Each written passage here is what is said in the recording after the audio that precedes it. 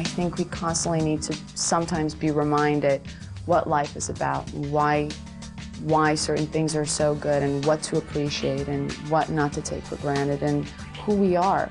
Not to lose touch with that because it happens to all of us, to the best of us. And to be reminded, that's Will. I'm going to have a heart attack. But that's what I was going to say.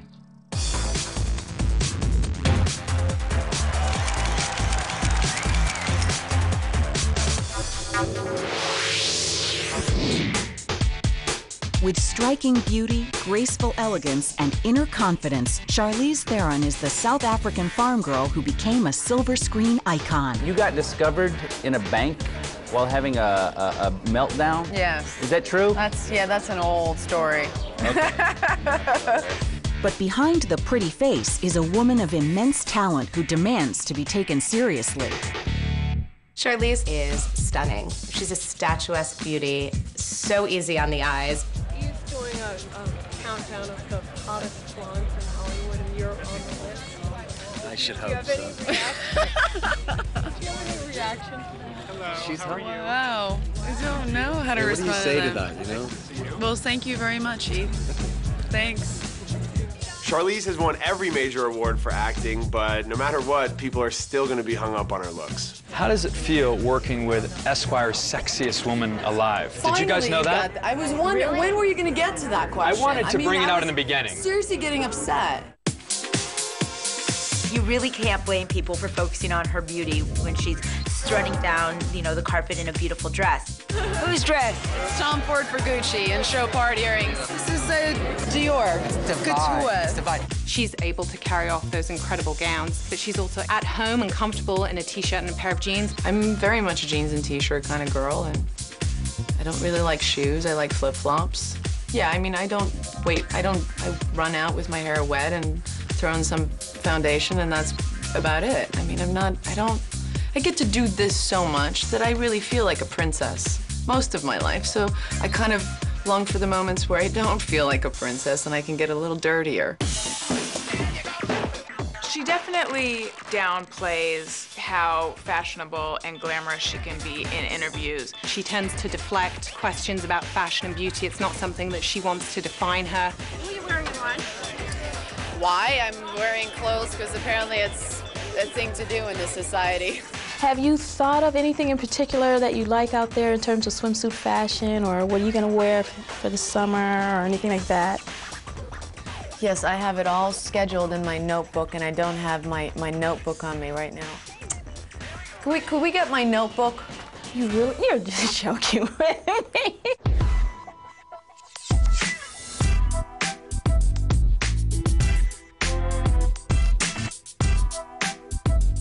True that you were going to star in Showgirls? Yeah, I was just starting out. I would have done anything. I mean, I was I didn't walk into Hollywood and think I was gonna, you know, do The English Patient as my first part. I was ready to I was ready to pay my dues, definitely. Early on in her career, Charlize often found herself as the love interest in a movie or the male's conquest in a film because she was so good looking. You take a lot of roles where you're surrounded by men. Yeah. Why do you think that is?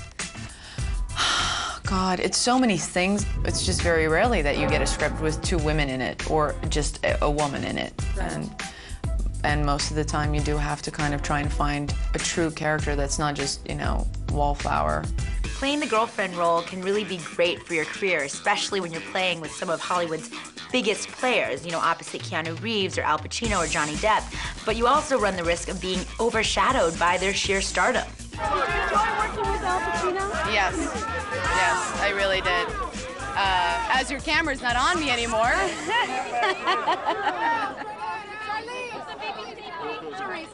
Did you enjoy working with Al Pacino? yes, I enjoyed working with the whole cast. I think the cast is incredible. Though she might be overlooked uh, in some of these films, when you share the screen with someone like Al Pacino, you can't help but grow as an actress. That's the greatest gift that I feel that I walked away with was watching.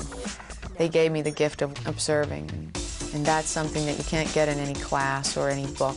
That's getting it from the best teachers out there. Johnny's name came up and anyway. No matter what, just you have to get him. And it just, it was an amazing experience because he is the kind of actor, he keeps you on your toes, he challenges you. Even when she was just playing a girlfriend, she brought her talent to it, and she made each role this living, breathing person. Clearly, that strategy paid off because Hollywood players soon began to take notice and she started to get better roles. I just had a hunch about her that she was more talented than, than had been, uh, she'd been given a chance to show, and I know what that feels like when people cast you for your looks and not what they think you can bring to a role. So I was excited about offering that to her. It was one of those projects that I'm sure every single female just they would have been idiots if they didn't because the script was so good and the writing for her, the material for her character was just there. It was challenging. It was somebody, you know, giving a, a woman a chance to really have a mouth, you know, especially in the 20s, which I love. It's all about the work in my book. If you deliver on the work and if you challenge yourself, people will be challenged and they might just go and see your movie.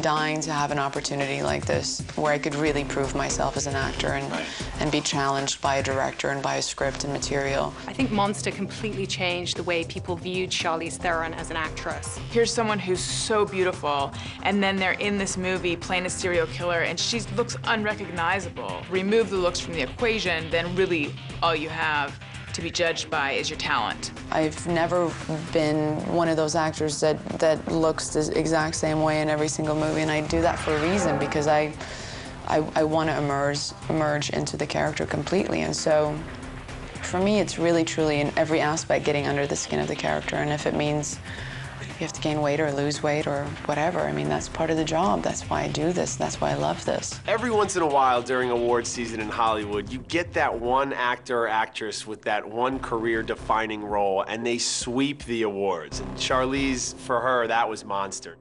Charlize truly proved once and for all she was a lot more than eye candy, and she got a whole new level of respect from Hollywood. The fact that that's happened for me and it's taken this long, um, for me, it feels like I have won. Oh, there you go. This belongs to oh, you. It was my honor. My honor, Eugenia. See you later. Oh my God, Sir, thank you. You earned it. You, I know, I know, I know, I know, I know. How is that, right? well, these things are supposed to be fun, but it's probably a little more fun when you win. I can't think right now. It's just so. It's. Where are we? Charlize Theron has proven that her talent is even more striking than her beauty. But with high praise comes high expectations. It's already so much pressure. I mean, I feel like I'm under a. I just feel like there's so many eyes on me. How has Theron managed to succeed on her own terms under the glare of intense media scrutiny?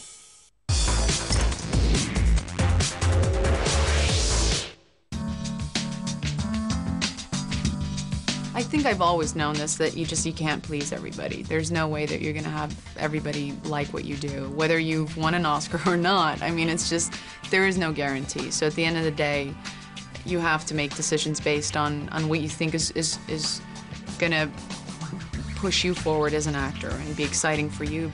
I think it's it has to be a private and personal decision always. This is the only way to kind of deal with it if it is a failure, to go, well, it was something that I really wanted to do. After winning every major award for her role in Monster, Charlize Theron proved she belongs among Hollywood's elite. They always thought if it did happen, it would be a really nice surprise. But the work has always been so satisfying. This is amazing, but you can't expect these kind of things. But in an extremely demanding industry, in the face of impossible expectations, how has Theron managed to succeed on her own terms? Being the Oscar winner, what do you do with those two words? Um, you feel honored and very um, grateful. Um, but I don't want to get caught in this corner where I, there's, it's already so much pressure. I mean, I feel like I'm under a, I just feel like there's so many eyes on me, and I don't want to get to that place where I start to feel like I'm making choices for other people.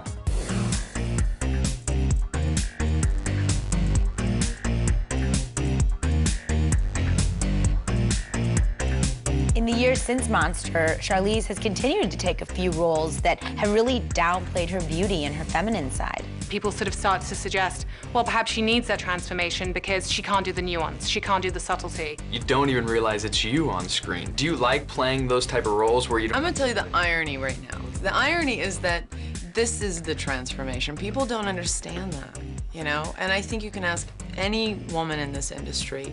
We are incredibly blessed to have 4,000 people in a back room, you know, spatuling us with makeup and making our hair look gorgeous and putting us in gorgeous clothes and making us I think that's what people are almost sometimes forgetting. People call out Charlize Theron for dressing down for a lot of her more serious roles, but then when she glams it up and looks so beautiful for more mainstream films like Aeon Flux or Hancock, then they say it's beneath her. She kind of can't win.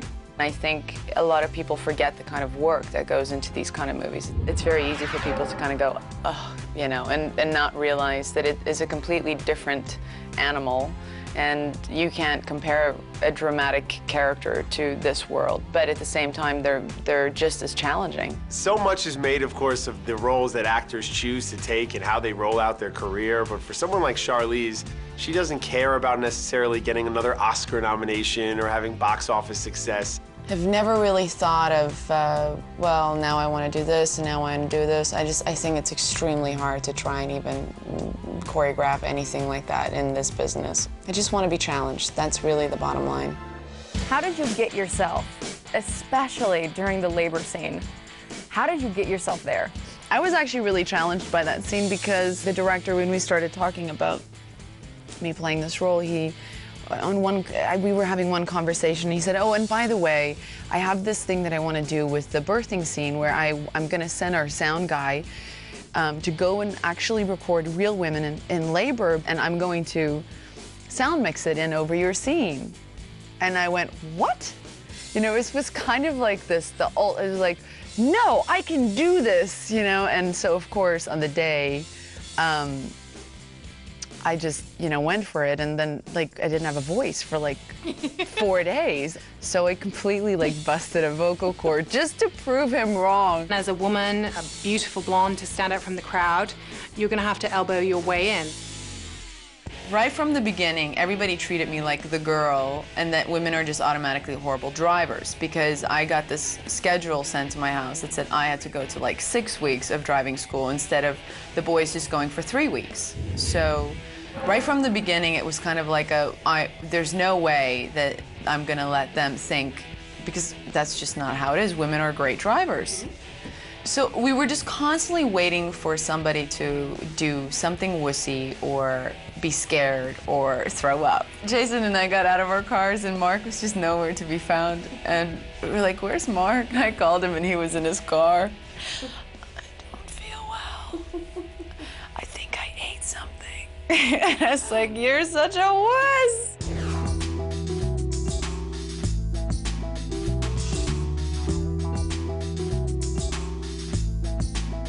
Do you both feel that you've realized your potential, far exceeded what you ever thought you would do, or? Oh God, definitely.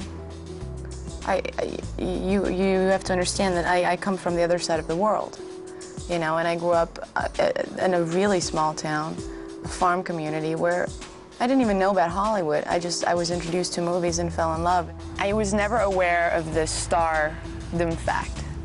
I thought Tom Hanks was like a guy that lived next to like maybe us, and his job just by chance was making movies. I was never really aware of the Oscars. So I never saw these people other than in films, and I never knew that they were like, you know, being paid millions of dollars, and, you know, that everybody knew who they were.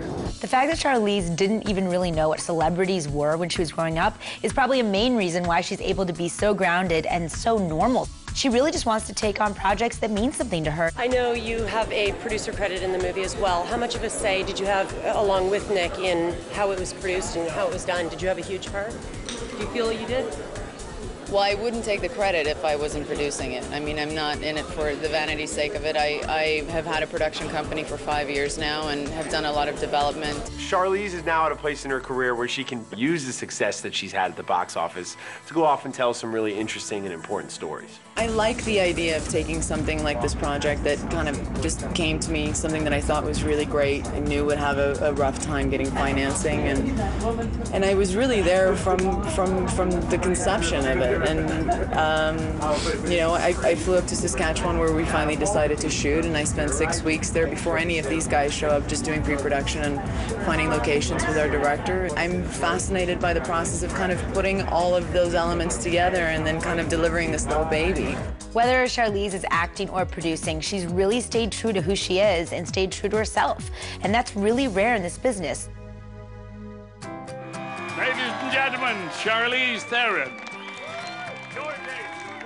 I'm incredibly humbled and honored to be here today. You've made a foreign farm girl from South Africa feel very much at home, and this is my home now. I had big dreams, but this is really just unbelievable, and um, I feel so incredibly honored because I get to do something that I love so unbelievably much. I can't imagine doing anything else. Thank you so much, you guys. Really, thank you. Never one to compromise, Charlize Theron has achieved tremendous success by staying true to herself. But living a movie star life can sometimes be a mixed blessing. If you ever get used to it, you're just not human. The reason I'm, I'm probably throwing these, these sort of questions at you is because I'm catching you in your first publicity spurt. Yes. I mean, where do you want to see? Five years from now, we will not speak to you. God knows I've seen it happen, and God help you if it does. But it's like, what, what do you want to, I mean, that's looking back. Looking forward, what do you see? What do you want? What do you want to do? Looking back, I see the valley. Looking forward, I see a camera. So it looks like I'm going to be looking at a camera for the next couple of years, if they let me. From humble beginnings, Charlize Theron has established herself as one of Tinseltown's most beloved and gifted actors. But in the face of overwhelming fame, how does this South African farm girl remain level-headed while continuing to make her mark on Hollywood? My name is too hard to remember. So I think people will never have the guts to come up to me and say, that's Charlize Theron. I think we have to remember where Charlize came from. She truly did come from a little small community in South Africa. So you can imagine the paparazzi must still seem so crazy and foreign to her. What's the best and worst part of being an actress, being Charlize Theron, in your job? There really is no no no downside of, of being an actor. There really, really isn't. But you know, for me, the, where we're going with the whole celebrity thing has become very uncomfortable, and that would I would say would be the downside. Hard to get used to that, right? If you ever get used to it, you're just not human. Then then I believe we have been infiltrated by Mars, for sure. She's certainly not somebody who's traded on her personal life and her personal relationships. I think she's a very private person. You know when it's uh, uh, 7 o'clock in the morning and you're at the airport with uh, zit cream on your face and, and baggy jeans and a dirty t-shirt and you have uh, 10 people following you into the plane, of course that's not very pleasant. Um, but, you know, it's, I think you realize that when you do this, that that's part of the job and to a certain am- there's a part of you that truly belongs to them out there, but if you, I, I, I do believe that there's a way to maybe keep a part, that, that private part to yourself, and, and if you do that, I think you'll be okay. I think of people who bought these magazines spend one day in our lives and felt what it felt like to have somebody chase you around all day and stalk you and, and peer in your windows and not only, you know, follow you, but follow your friends and follow your family, I think they would feel a little different about it.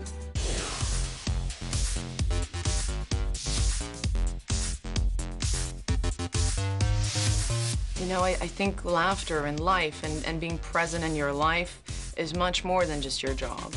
It's, it's so great to go and do that and then go home and have something completely different and have people in your life that that don't want to talk about it, but you know, maybe want to talk about more important things or, or not, or silly things or laugh. So it's really not that hard for me. I mean, I go to my trailer, I take my clothes off, and I'm me. I mean, I'm me when I make the movie. I'm not one of those actors who are like, I'm Emily right now. Don't talk to me. yeah.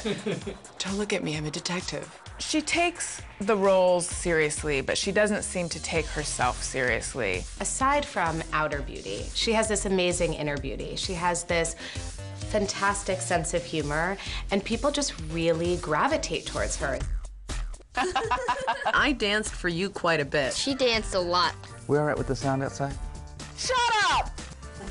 Little shoot 'em up, little shoot 'em up. Little... Charlize, just No, I have to go to the bathroom. Oh. Sorry. Are you right about my breast reduction?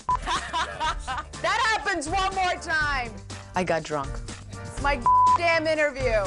I'm gonna be so upset if I don't win. I'm gonna show these people what a tantrum is. Like spat, like projectile out of my mouth, and I choked on. Sorry. I think her sense of humor helps in her career not only with acting, but also with producing. I mean, who wouldn't want to work on a project with someone that you know you're going to have a good time with? What did you learn from working with Charlize here? And she's right next to you. So I learned how to please say nice smoke. things. Oh, oh damn. I'm gonna be over here getting a drink. just kidding.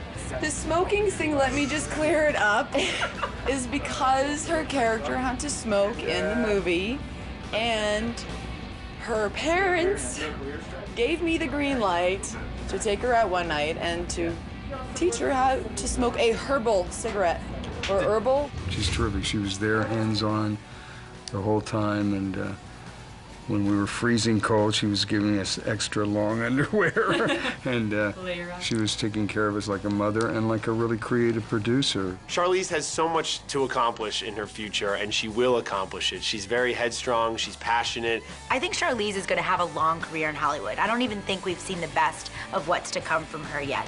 I, I never try and set out to kind of follow any kind of, you know, theory or, or, or recipe, you know, well, I've done this, now I have to go and do that.